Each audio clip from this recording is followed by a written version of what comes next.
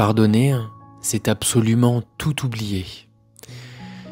Ma grand-mère qui était dans des camps de concentration, on en parlait souvent quand j'étais petit, et des conversations sur le, sur le pardon que j'ai eu avec mon maître en Inde il y a quelques années. C'est de ça que je vais te parler aujourd'hui dans ce petit podcast. Est-ce que tu as déjà entendu parler des neurones miroirs?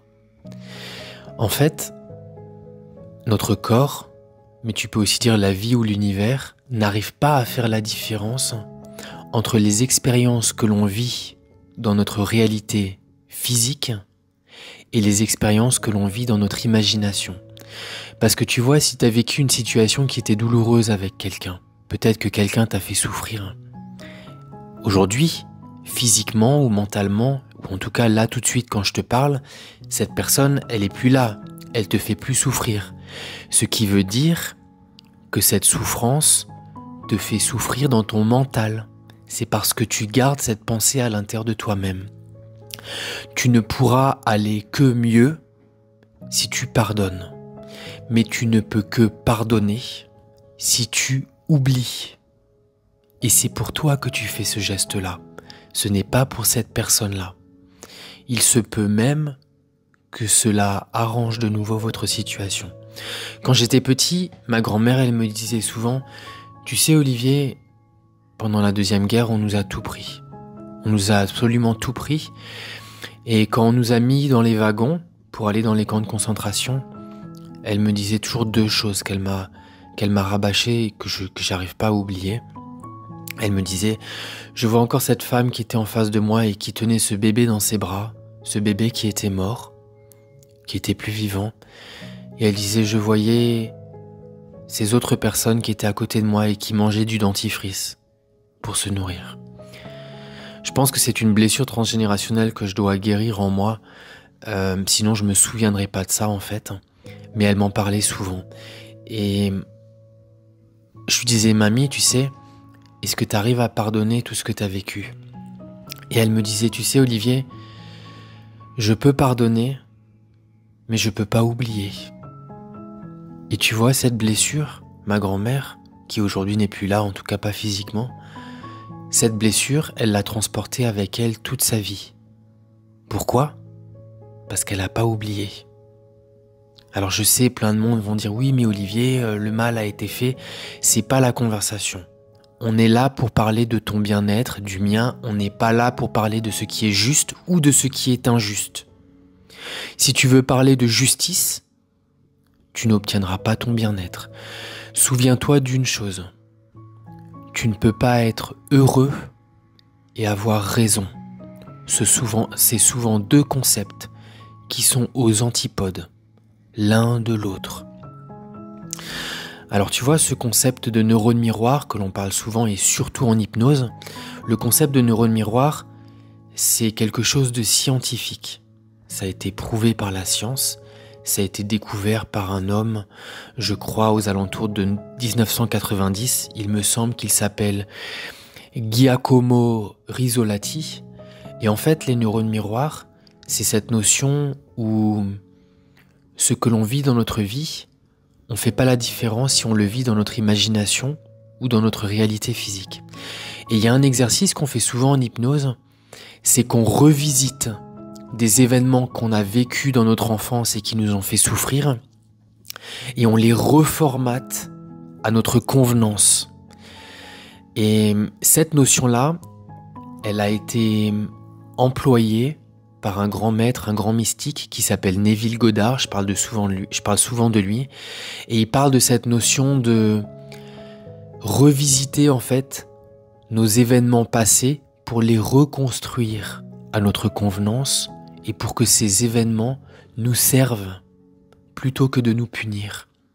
Donc si un événement t'a puni, revisite-le dans ton imagination, encore et encore et encore, jusqu'à ce que cet événement que tu as vécu te fasse du bien. Je vais te donner un exemple personnel pour moi. Quand j'étais petit, ma maman était très triste et elle buvait beaucoup d'alcool pour, euh, pour éponger en fait sa souffrance, si je puis dire. Et il y a une scène quand j'étais petit, moi je, montais beaucoup à cheval, ma mère adorait l'équitation, du coup par défaut j'ai dû faire beaucoup d'équitation pour lui procurer du plaisir quand j'étais petit. Et j'étais dans un centre équestre qui était en Alsace, pas très loin de Strasbourg, et ma mère buvait régulièrement de l'alcool et du coup bah elle était imbibée et, et elle était plus elle-même. Et je me souviendrai toujours d'une soirée où il y avait plein de personnes qu'on connaissait beaucoup et j'étais assis sur la terrasse, j'étais tout petit. J'étais assis avec mon meilleur ami d'enfance, Romain. Et on était assis tous les deux sur la terrasse, on jouait sur une table. Et ma mère était à l'intérieur. Et elle avait vraisemblablement consommé de l'alcool. Et ses amis, ou en tout cas ses soi-disant amis, sortaient sur la terrasse et ils se moquaient d'elle. Et ils disaient purée mais regarde là. Et ils se moquaient d'elle en fait ouvertement. Et moi j'étais juste à côté. Et j'entendais tout. Et ça a laissé une blessure en moi, mais colossale. Une blessure qu'aujourd'hui j'ai guérie, mais une blessure de rejet, une blessure de tristesse, une blessure de trahison. Et tu vois ce que je fais aujourd'hui? Je le fais plus maintenant, mais je l'ai fait assez longtemps. C'est que cette situation, je l'ai revisitée. Je l'ai revisitée et en fait, ce que je voyais, c'est que je voyais, je voyais ma maman qui était imbibée d'alcool. Par contre, je vois ses amis qui sont autour d'elle et qui voient qu'elle est pas bien. Et ils la prennent dans ses bras et ils lui donnent de l'amour. Et ils lui disent, Martine, on t'aime et on est là pour toi. On est là pour toi, sache que notre présence, vraiment on veut t'aider et sache qu'on t'aime. Et cette scène, je l'ai revisualisée encore et encore et encore. Parce qu'en fin de compte, aujourd'hui, cette situation, elle n'existe plus. Elle date d'il y a plus de 30 années. Hein.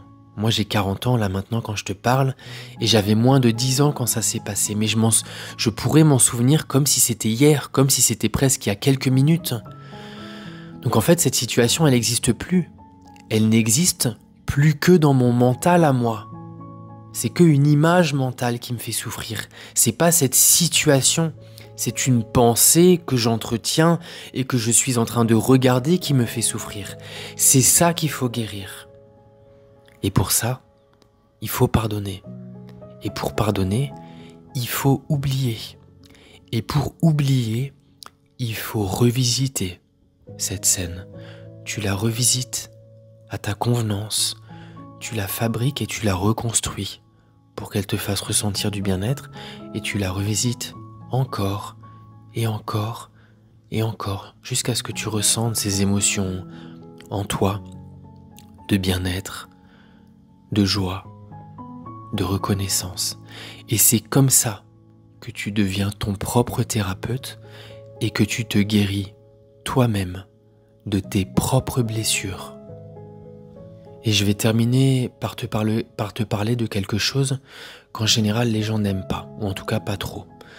Euh, je vais te parler d'un passage de la Bible. Je ne suis pas même moi-même, je ne suis pas pratiquant, pas du tout. Je suis un grand amoureux euh, euh, par exemple de la basilique du Sacré-Cœur, mais ça n'a rien à voir avec l'église en elle-même, c'est juste l'énergie que l'endroit dégage. Je ressens beaucoup d'amour quand je vais là-bas. Et pour moi, la Bible, je vais te dire ce que c'est. J'ai un, jour eu cette conversation avec un maître en Inde et il me dit, tu sais Olivier, vous les êtres humains et les chrétiens, la Bible, vous croyez qu'en fait c'est un enseignement de personnes qui ont vécu, mais pour la plupart vous n'avez pas bien compris. Ce livre, c'est une grande métaphore qui vous aide à comprendre la loi de l'attraction indirectement, mais aussi tous les mécanismes humains qui vont vous servir. Et je vais te citer un passage qui est le passage d'Esaïe 43, 25, et qui dit C'est moi, moi qui efface tes transgressions pour l'amour de moi, et je ne me souviendrai plus de tes péchés. Tu entends? Et je ne me souviendrai plus de tes péchés. Dans la Bible, il y a quand même beaucoup de choses qui sont très utiles. Tu vois, si tu veux pardonner, tu dois oublier. En fait, dans le pardon divin, ou plus précisément en fait dans ce que l'on appelle la théologie chrétienne, le pardon de celui qu'on appelle Dieu, le pardon de Dieu ou même le pardon de la vie, il est souvent associé à une forme d'oubli d'oubli des péchés pardonnés. Ce qui signifie que Dieu, la vie ou l'univers, ne tient pas compte des offenses qui ont été faites. Après, pour être honnête, on s'en fout, euh, on s'en fout du côté euh, religieux. Le, le plus important dans tout ça, c'est qu'est-ce qui va nous procurer du bien-être, qu'est-ce qui va me permettre de guérir, que ce soit la Bible, que ce soit, on s'en fout en fait. L'essentiel, c'est juste de comprendre nos mécanismes intérieurs, de comprendre nos souffrances et de pouvoir les guérir. C'est ça le plus important. Alors toi qui es en train d'écouter ce podcast, essaye, essaye, juste une fois, et vois si tu ressens du bien-être. Ferme tes yeux, pense à une situation de ton enfance ou à une situation, peu importe, qui t'a fait souffrir, et revisite cette situation. Tu peux la revisiter, tu peux la reformater à ta convenance. Et revisite-la encore et encore et visualise et imagine encore et encore. Et vois le ressenti intérieur que tu auras à l'égard de ce qui auparavant te faisait souffrir, mais maintenant va peut-être te servir dans ton bien-être, dans ton pardon et dans ton bonheur. Et voilà, c'est terminé. Je t'envoie plein d'amour et je te dis à bientôt.